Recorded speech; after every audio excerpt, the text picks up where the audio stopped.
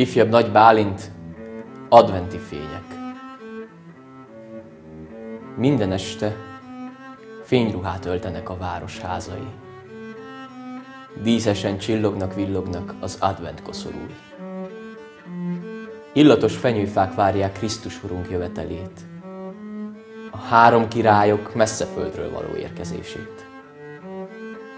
Szeretet járja át a keresztény világ minden népét, a réges-régen várt világ megváltó megszületését. Az adventi fények barátságot, békességet hoznak. Még a békegalambok is örömükben csókolóznak. Zsoltáros énekeink gyönyörű dallamát hallhatjuk. Csak kérnünk kell Istenünktől. Most, majd végre megkaphatjuk mindazt a szépet és jót, amire olyan régtől fogva vágyunk. Erről szólt az életünkben minden kívánságunk, álmunk.